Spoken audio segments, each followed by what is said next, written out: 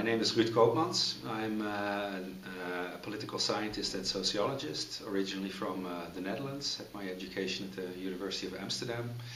And um, I'm now uh, director uh, of uh, a Uh, research department on uh, migration and integration uh, at the Social Science Research Center in Berlin, which is the largest social science research center in Europe. And I'm also a professor of sociology at Humboldt University.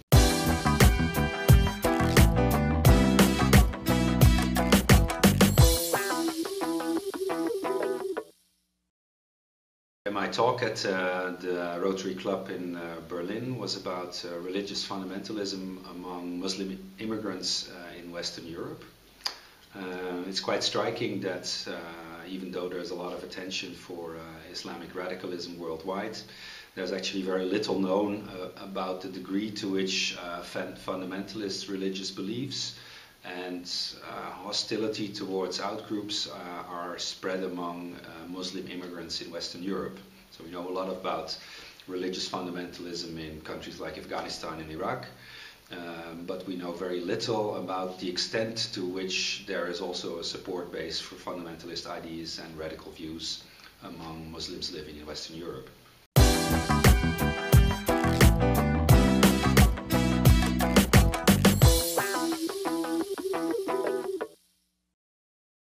My research is the first uh, that actually investigated this topic on the basis of representative uh, survey data. Uh, and we not only looked at uh, religious fundamentalism and outgroup hostility among Muslims in Western Europe, but we also had a comparison group of Christians.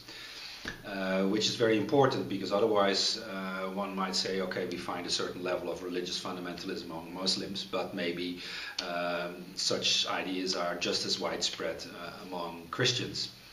Um, and what we found is uh, that there is a, quite a strong uh, degree of support for fundamentalist beliefs among Muslims in Western Europe. It varies a bit uh, across countries, but on average, we're talking about uh, about 40 to 45 percent of the Muslim population in uh, Western Europe who have a fundamentalist view uh, on their religion. Fundamentalism means the idea that there is only one interpretation of the Holy Scripture, that every believer must stick to these uh, to, to, this one interpretation, and that the religious rules are more important than uh, the secular laws in the country in which one lives. That's the definition of fundamentalism. And on that definition, we have about 40 to 45 percent of the Muslim population. And if you compare that to Christians in Western Europe, uh, we also find fundamentalists' uh, views there, but we're then talking about 5 to 10 percent of the Christians. So the magnitude is much larger among uh, the, the Muslim population.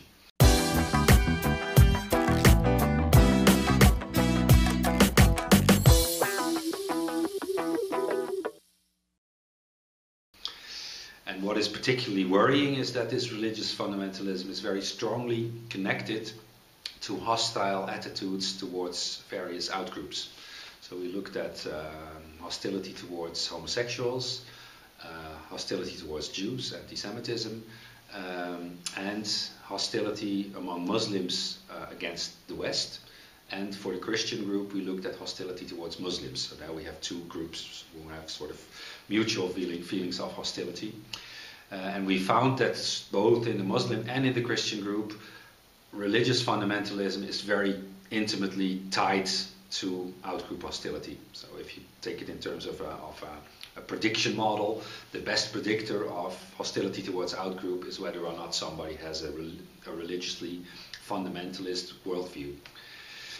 Um, and hostility towards outgroups also is much more widespread among uh, the uh, Muslim population in Western Europe. So levels of anti-Semitism, for instance, ranging from, depending on the country, between 30 and 60 percent of the Muslim uh, population finds, for instance, that uh, Jews cannot be trusted, which was an item we used to measure anti-Semitism. Again, we find hostility towards outgroup also among the native population and particularly uh, among Christians. And there too, we find it's more widespread among uh, religiously fundamentalist Christians, but the levels are again much lower. So if we're talking about anti-Semitism as an example, uh, it's about 8 to 9% of the population. Um, of the native Christian population finds that Jews cannot be trusted, which in, in itself is also uh, a worrying finding. And uh, one should, of course, not forget that uh, Muslims are only about 5% of the population uh, in uh, Western Europe. So that if we're talking about anti Semitism, we can, on the one hand, say it is much more widespread among Muslims, but we can at the same time also say that most anti-Semites are not Muslims. Most, most anti-Semites are natives, Christians or atheists. Uh, percentage-wise, that is lower, but in absolute numbers, of course, most people who have these hostile views towards Jews and other outgroups are not Muslims. So there's two ways in which you can look at this finding.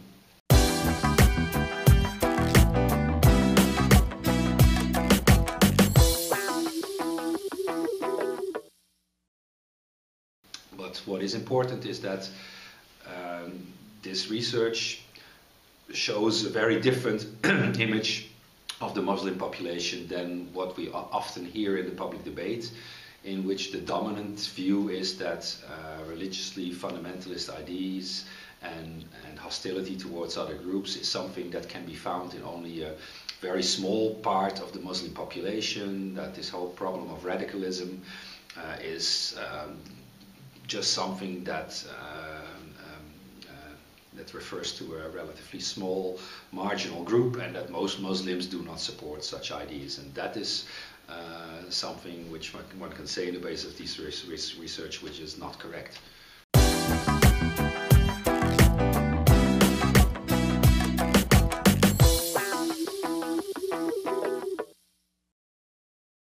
Yeah, if we're talking about um, uh, what kind of recommendations one can um, um, draw from this research, I think the most most important uh, conclusion is is one of uh, perception of the causes of the problem.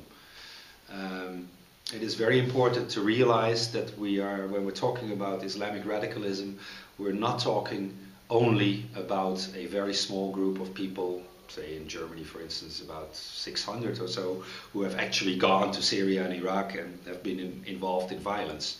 There is a much broader base of people who at least share a similar worldview, who share hostility towards the West, towards Jews.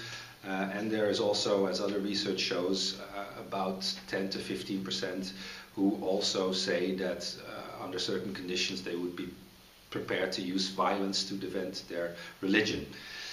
Um, and it's important to move away from the idea that this Islamic radicalism has nothing to do uh, with Islam uh, and is something that is irrelevant for the large majority of the Muslim population. Uh, I think it's very important for Muslim organizations also to, to acknowledge this and to acknowledge that this is uh, a problem that is uh, situated not at the margins but partly in the mainstream of Muslim communities in Western Europe. Much in the same way as in the 1990s, we had in Western Europe and in Germany in particular a problem with right wing radicalism, and, and correctly, uh, many people, uh, scientists, and, and also people from security agencies pointed out that it would be a mistake to do as if this was just a problem of those few people who actually violently attacked foreigners, but that the problem was also that this violence had a support in mainstream German society. And if we're talking about Islamic radicalism nowadays, it's very much the same.